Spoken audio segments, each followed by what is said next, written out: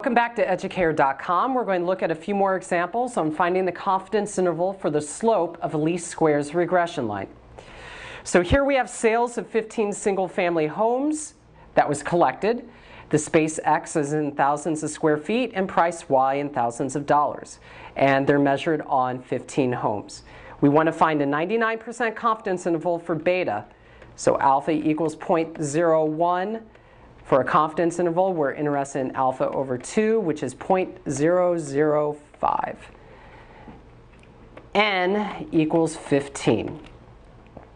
All right, let's start summing these values. Summation of x, if I add up all those x values, I get 22.358. Summation x squared, if I square each one of those and add them, I get 35.358. 22508. Summation y, if I add up all my y values, I get 554.18. If I square each one of those and add them, I get 22,802.214. And sometimes, well, we're going to need our summation xy, the cross product, is going to be 888.44.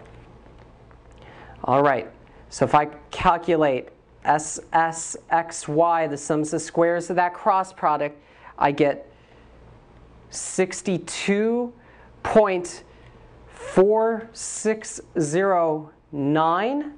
If I have sums of squares of the x's, that actually gives me 1.899732. If I divide those two, it gives me my b, and my b is 32.8788. Another value I could calculate, my sums of squares of my y's, my SSYY. And that gives me 2,320.214. After all that, we can calculate S of E. So this is going to be the square root of 2,320.214 minus 32.878. That's my B. And then we're multiplying that times my SSXY, my 62.4609. I'm dividing this by n minus 2, which is 13. So we get for SE approximately 4.5283. For the confidence interval, I want T a 0.005 with 13 degrees of freedom. This gives me 3.012.